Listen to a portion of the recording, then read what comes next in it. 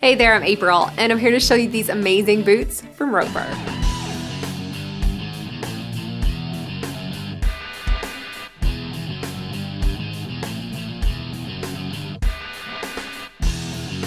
This boot is soft to the touch with a gorgeous embossed leather upper that really is breathtaking.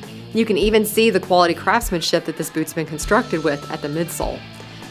Gorgeous contrast stitching at the shaft finishes it off gorgeously, it's nicely lined on the interior too for comfort next to the skin with soft leather lining for comfort. And the outsole even has leather added with rubber on the heel.